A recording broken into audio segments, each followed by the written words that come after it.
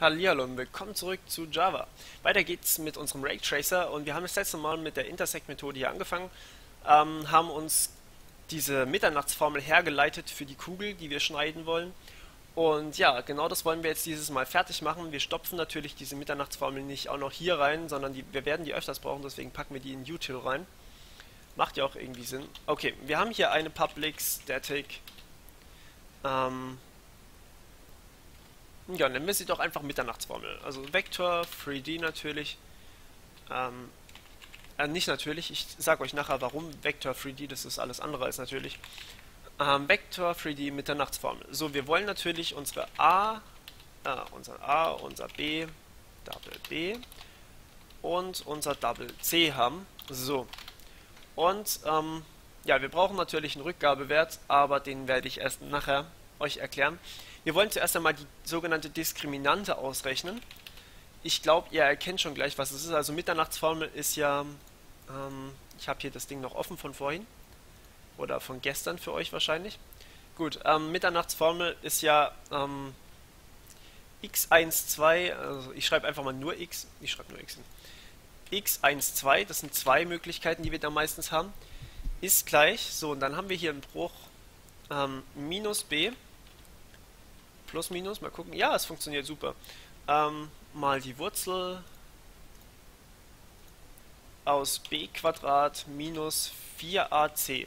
So, das ist unsere Mitternachtsformel hier, die wir zur Berechnung von quadratischen Gleichungen äh, benutzen. Durch 2a natürlich noch.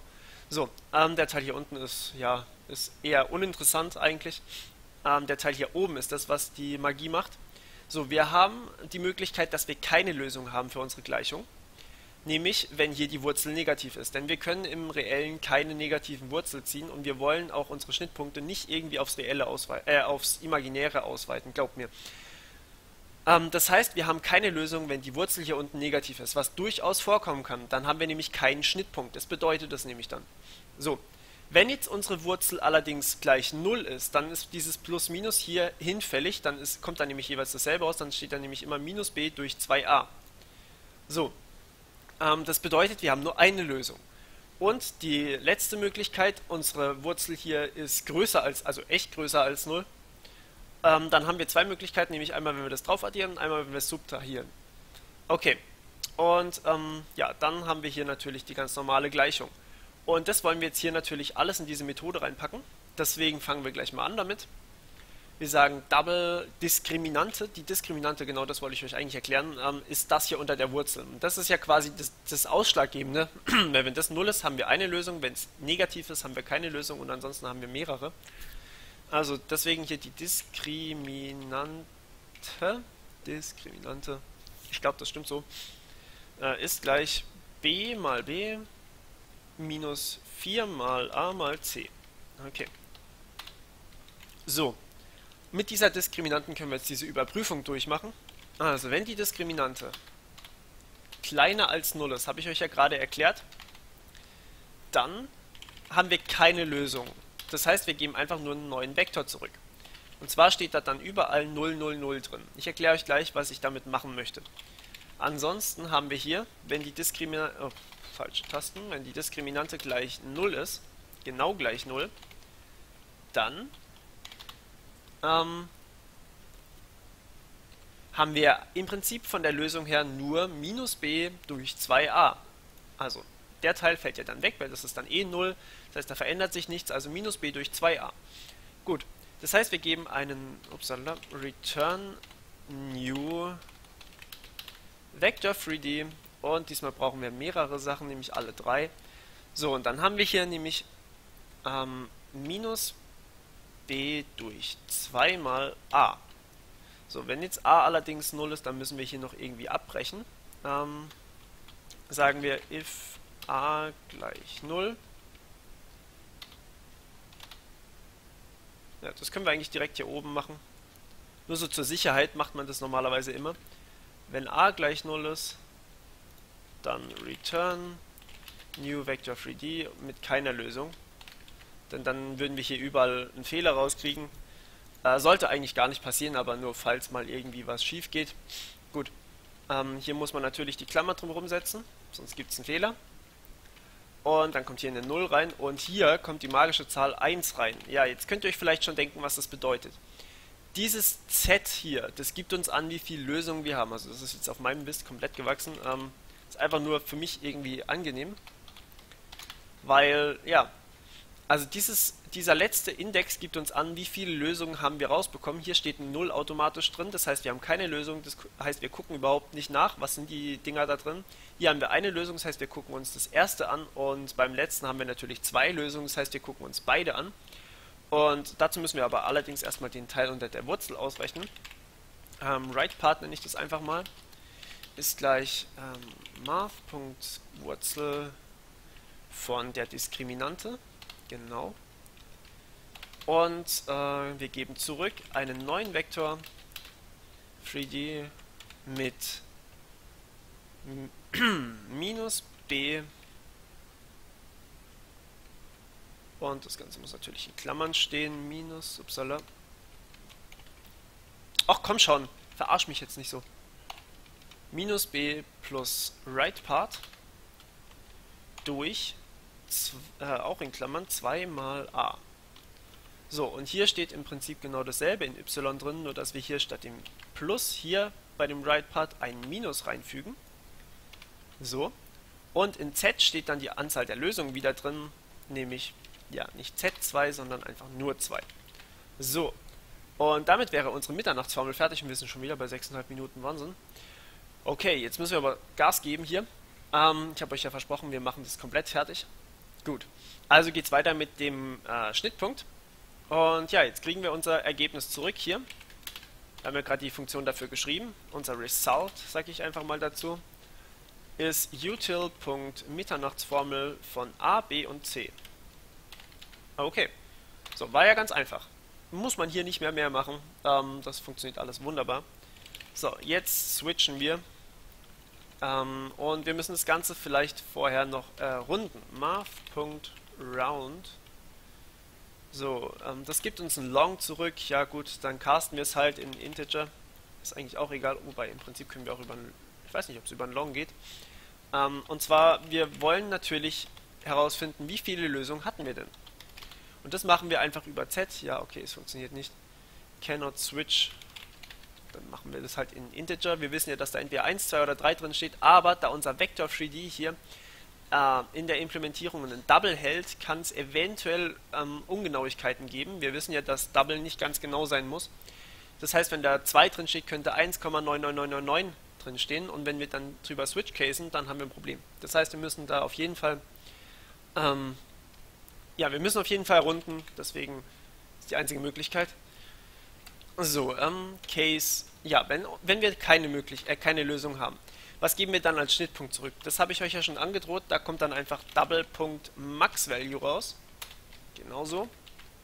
So, das bedeutet, wir haben, ähm, wir sind sogar noch, wo, wo war der Schnittpunkt? Ähm, Im Raytracer. Wir haben hier T2 ist zwar größer 0, aber dieses T ist anfangs Doppelpunkt Max Value minus 1. Das heißt, wir sind 1 drüber über dem, was es schon vorher war. Das heißt, hier kommt ein False raus. Das bedeutet, ähm, ja, es wurde kein Schnittpunkt gefunden. Deswegen dieses Doppelpunkt Max Value minus 1. Ansonsten äh, wären die beiden ja gleich und im Prinzip wird es auch funktionieren. Aber, dass es deutlich wird, habe ich das mal so gemacht. Okay, wenn wir eine Lösung haben, ja, was geben wir denn dann zurück? Dann geben wir natürlich einfach result.x zurück. So, was passiert jetzt also, wenn wir zwei Lösungen haben? Gut, also bei zwei Lösungen, da müssen wir uns natürlich erstmal überlegen, okay, wir wollen natürlich den näheren Schnittpunkt. Also wir haben ja auch mit einer Kugel die Möglichkeit, zwei Lösungen zu kriegen, denn, ähm, lasst mich kurz was... So, ähm, da bin ich wieder. Ja, wir haben hier eine Kugel, die sehr schön rund ist. Und wir haben hier einen Strahl. Das hier wäre die Möglichkeit, ein Schnittpunkt. Das hier wäre die Möglichkeit, kein Schnittpunkt. Die, merkt bitte, dass die von demselben Punkt kommen, das sieht man eindeutig. So, und jetzt haben wir natürlich die Möglichkeit, wir haben zwei Schnittpunkte, nämlich den hier vorne und den hier hinten. Und wir wollen ja jetzt natürlich immer nur den Schnittpunkt zurückgeben, der näher an unserem Strahl dran ist, äh, an unserem Auge dran ist, weil ähm, wir sowieso immer den nächsten Schnittpunkt suchen und ansonsten wäre das natürlich ein Problem. Gut, also was machen wir schlauen Menschen, wenn wir zwei Schnittpunkte hier haben? Naja gut, wir sagen erstmal, ähm, wir wollen, ach ja genau, da gibt es ja noch die weitere Möglichkeit, es könnte ja sein, dass, ich packe das mal hier unten hin, dass unser, unsere Kugel, ähm, unser Auge in unserer Kugel liegt. So würden wir ja theoretisch auch zwei Schnittpunkte haben, denn der, Schnitt, denn der Strahl lässt sich ja erweitern auf das hier hinten. Und ähm, dann haben wir quasi immer zwei Schnittpunkte, weil nämlich immer einmal vorne dran, einmal hinten dran, egal in welche Richtung wir gucken, wir gucken eigentlich genau einmal auf den Strahl und hinter uns ist er dann auch nochmal. Das kann natürlich auch passieren, dass wir hier zwei Schnittpunkte haben. Deswegen machen wir das mal ganz deutlich mit geschachtelten Ifs und Elses. Vielleicht nicht die schönste Lösung, man könnte es auch einfacher machen, aber ich möchte, dass ihr das auch wirklich versteht. So, also wenn das Ergebnis von x kleiner als 0 ist, ja, was passiert dann? Wenn das Ergebnis von x kleiner als 0 ist, dann, ähm, also dann haben wir einen Schnittpunkt hinter unserem Auge, weil kleiner 0 bedeutet immer hinter unserem Auge. Das bedeutet, ähm, wir können auf jeden Fall den Schnittpunkt, der in y drin steht, zurückgeben. Also das ist ja immer unser t quasi, was wir hier geben. Ja, wenn jetzt aber y auch noch kleiner als 0 ist, dann haben wir den Fall, dass beide Schnittpunkte hinter unserem Auge liegen. Sprich, wir würden hier anfangen oder hier und würden nach vorne gucken, also in diese Richtung, aber die Kugel liegt hinter unserem Auge. Kann relativ häufig passieren. Das heißt, wir haben keinen Schnittpunkt im Prinzip. Das heißt, wir geben hier wieder Double.Max Max Value zurück wenn jetzt aber y größer als 0 ist, dann haben wir den Fall mit einem Schnittpunkt, wo wir in der Kugel drin starten. Das habe ich euch ja schon gezeigt. Das heißt, wir wollen hier natürlich y zurückgeben, weil x ist ja hinter uns. y ist vor uns, das heißt, ähm, wir geben y zurück. Also das Ergebnis y ist ja auch ein t, ein möglicher Schnittpunkt t. Also nicht der Punkt, sondern der Abstand auf dem Vektor, also dieses ähm, dieses Moment, dieses t hier, geben wir zurück. Da haben wir dann zwei davon. Im Prinzip steht hier nicht x, sondern t. So, ähm, wenn ich es jetzt noch finde, hier. Gut, ähm, das wäre einmal die Möglichkeit hier mit x kleiner 0. So, jetzt haben wir das Ganze natürlich noch mit y äh, hier drin abgedeckt. Jetzt haben wir noch die Möglichkeit, dass x größer als 0 ist. Das wäre dann unser else-Fall, ähm, oder größer gleich 0, um genau zu sein. So, was passiert jetzt, wenn y kleiner 0 ist. Im Prinzip kann ich das hier erstmal kopieren, denn die Fälle bleiben dieselben. Innen drin, y kann kleiner als 0 sein und es kann größer als 0 sein. Oder größer gleich 0, das wäre dann der else-Fall. Okay, wenn y kleiner als 0 ist, naja, dann haben wir trotzdem in dem Fall einen Schnittpunkt, denn x ist ja größer als 0. Das heißt, äh, ja, return, return, genau. Das heißt, wir haben hier einen Result.x. Okay, ähm, als Lösung. So, und wenn wir jetzt hier tatsächlich beide vor uns liegen, dann haben wir den Fall, wo ist die Zeichnung? Dann haben wir diesen Fall hier, nämlich hier und hier haben wir jeweils zwei Schnittpunkte. Und da wollen wir einfach den kleineren zurückgeben, denn das ist ja der, den wir suchen. Das heißt, wir geben hier einfach return math.minimum von beiden Schnittpunkten result.x und result.y. Genau. Und das war unsere Schnittpunktberechnung. Jetzt machen wir hier, weil wir in einem Switch Case waren. Ähm, das ist von der else, das ist von der, genau. Machen wir hier noch einen Default-Wert rein, falls irgendwas schiefgegangen ist oder irgendjemand unsere Berechnung kaputt gemacht hat, geben wir einfach zurück. Wir haben keinen Schnittpunkt gefunden, denn was anderes können wir nicht machen. Einfach immer ein Default, äh, in, in einem Switch Case immer eine Default-Möglichkeit angeben, dann passt das schon. Gut. Ja, somit wären wir mit der Schnittmethode hier fertig. Und eigentlich wären wir jetzt fast so weit, das ganze Ding laufen zu lassen. Jetzt müssen wir nur noch schauen, dass wir auch wirklich eine Szene sehen. Und das machen wir ganz easy, indem wir einfach sagen, okay, äh, Raytracer, komm her. Wir hätten gerne eine Klasse Szene. Ähm, die App von gar nichts. Das ist einfach nur die Szene, die wir hier halten. Und wir wollen natürlich nur eine Szene möglich machen. Deswegen schreiben wir Private Static Scene Scene wir machen einfach dasselbe, was wir schon mal gemacht haben. Sagen hier Public Scene, denn wir wollen sie trotzdem instanzieren können. Das haben wir mit Output auch schon mal gemacht, falls ihr euch erinnert. Nennt sich Singleton oder Einzelobjekt, ich weiß nicht genau, wie man es auf Deutsch nennt. Ähm, hier in dem Konstruktor hätte ich jetzt ganz gerne eine neue Kugel. Äh, eine neue Kugel, habe ich gesagt. Sphere. Ähm, und zwar mit einem Radius von, keine Ahnung, äh, mit einem Radius von 5 von mir aus und mit einem Mittelpunkt von 0. New Vector 3D 000. So, das passt eigentlich einigermaßen, weil wir sind hier in der Kamera.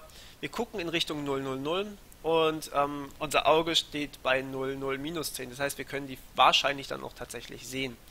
Okay, ähm, ja, und jetzt habe ich gesagt, ähm, wir wollen ein Singleton draus machen. Das, da schreiben wir dann einfach ein public static scene get scene. Ups, scene, ja genau. Ähm, und wenn die Szene gleich 0 ist, gleich gleich null, dann äh, Scene.scene gleich new scene. Also im Prinzip ist dieses Scene hier auch Scene.scene. Also ähm, genau. Also wir kreieren uns eine neue Szene. Und wir geben dann natürlich am Schluss die Szene zurück. So. Genau, perfekt. So, äh, jetzt habe ich natürlich hier schon ein Object eingeführt. Das ist eine Array-Liste. Ähm, soll zumindest eine sein. Public Array List. Und zwar über Objects. Die hält nämlich einfach alle Objekte, die wir so, äh, die wir so haben. Object 3D. Ähm, nennen wir einfach Objects. Objects. Ich habe es doch schon benutzt, Mensch. Weißt du doch. So, die initialisieren wir einfach mit Object 3D. So, und fertig sind wir. Und alles nur, damit man eine kleine Kugel sieht. Ähm, ja, jetzt kann ich das Ganze mal ausführen. Und wir sehen hier, wow, wir haben tatsächlich eine Kugel geschnitten. Super geil, ähm, sieht vollkommen lame aus. Einfach nur blau und die Kugel ist grün. Und das liegt daran, dass wir hier grün als Farbe hinzugefügt haben direkt, aber wir sehen, dass wir tatsächlich eine Kugel modelliert haben und das Ganze ist jetzt super schnell erweiterbar und genau das habe ich jetzt in den nächsten paar Videos äh, in diesem Kapitel mit euch vor. Das heißt, wir werden hier irgendwelche Schatten machen und so weiter und so fort. Aber es kann sein, dass es eine Weile dauert, weil das habe ich jetzt noch nicht alles programmiert. Das wird sich dann noch ergeben.